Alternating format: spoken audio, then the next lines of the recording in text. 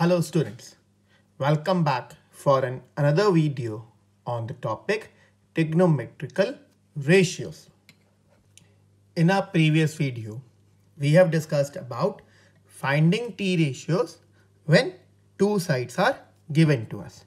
Now, in this video, we are going to discuss about finding the t ratio when one t ratio will be given to us.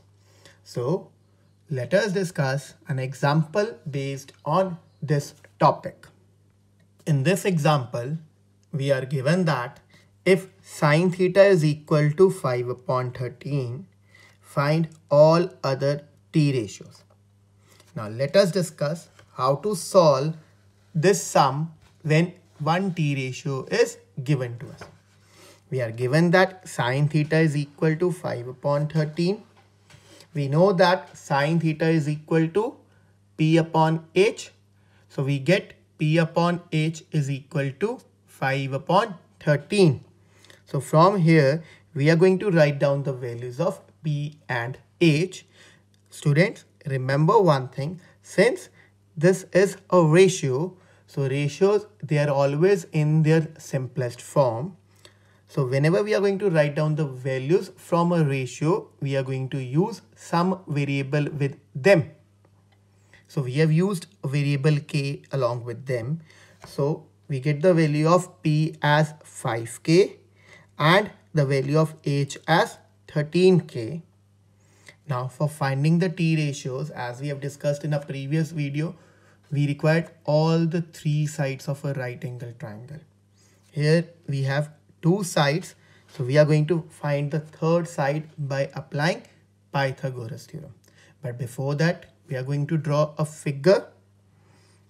Any right angle triangle. We have drawn a right angle triangle ABC, right angle at B with a reference angle at vertex C. Now we are going to identify base, perpendicular and hypotenuse. So hypotenuse will be the side opposite to 90 degree. So AC will be hypotenuse. Perpendicular will be the side opposite to reference angle. So AB will be perpendicular and BC will be the base. Now we have the values of P and H. We are going to apply Pythagoras theorem that is H square is equal to b square plus p square. Now we are going to substitute the values of h and p. We get 13k whole square is equal to b square plus 5k whole square. Students, the square of 13k is 169k square which is equal to b square plus the square of 5k is 25k square.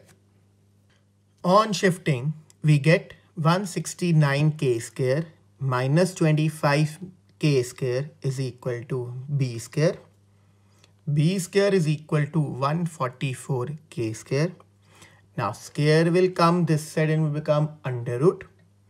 The under root of 144k square is equal to 12k. So we have got the value of B as 12K. Now as we have got all the required values for our sum, now we are going to find all the six T ratios. The first one is sine theta. So sine theta is equal to P upon H. On substituting the values, we get 5K upon 13K. K and K will get cancel out. So we get the answer as 5 upon 13.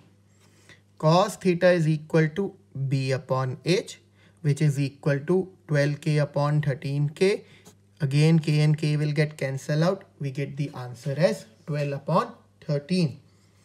Tan theta is equal to P upon B which is equal to 5k upon 12k. k and k will cut. We get the answer as 5 upon 12 cosecant theta is equal to h upon p which is equal to 13k upon 5k. k and k will get cut. We get the answer as 13 upon 5. Secant theta is equal to h upon b which is equal to 13k upon 12k. k and k will get cut. We get the answer as 13 upon 12. Cot theta is equal to b upon p which will be equal to 12k upon 5k. k and k will get cut. So We get the answer as 12 upon 5. Now students, you have got a worksheet in your SNAP homework based on this topic. Solve those sums. Thank you and have a nice day.